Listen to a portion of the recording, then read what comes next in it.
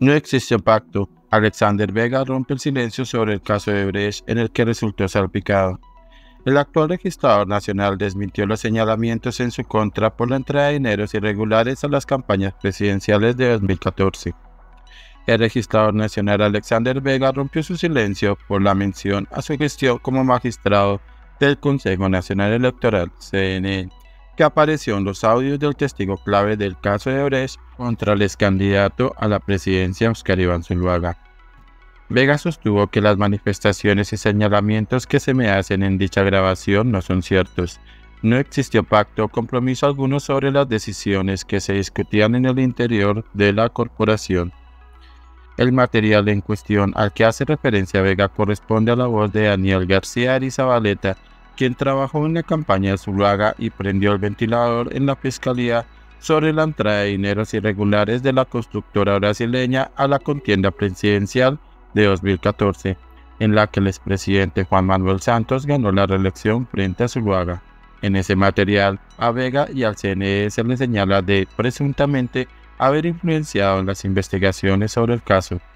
Ante las acusaciones, Vega sostuvo que es importante ratificar y aclarar que no fui ponente en ninguna de las dos investigaciones de las campañas presidenciales 2014.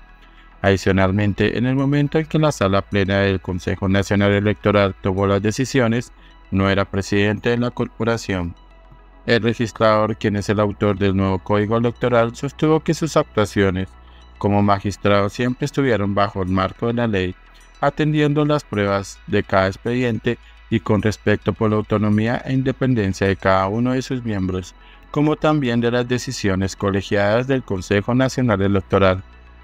Alexander Vega ejercía como magistrado del CNE en 2017, año en el que se decidió archivar la investigación por los dineros irregulares que habrían entrado a la campaña de Zuluaga además del actual registrador para entonces el ahora defensor del pueblo Carlos Camargo, también ejercía como magistrado de esa corporación.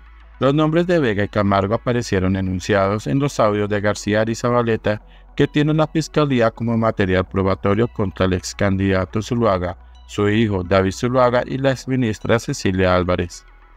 Por ese caso, Oscar Iván Zuluaga y su hijo David Zuluaga serán imputados por la fiscalía el próximo 10 de julio y para este 6 de julio está programada la imputación contra la exministra Álvarez.